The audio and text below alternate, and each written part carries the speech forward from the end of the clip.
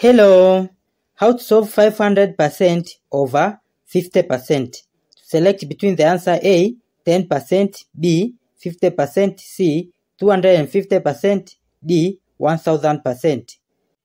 So, first you convert both of these into decimal equivalent.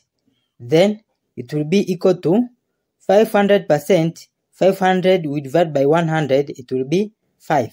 Then over 50%, 50 divided by 100 is 0.5. Then this will be equal to 5 divided by 0.5 is 10. Now this is decimal number, but our answers are in percentage. So we'll convert into percentage. Then it is equal to 10 times 100%.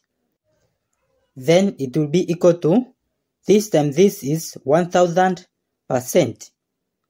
So this is our final answer.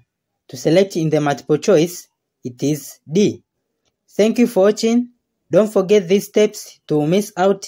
Subscribe to my channel and see you in the next video. Bye bye.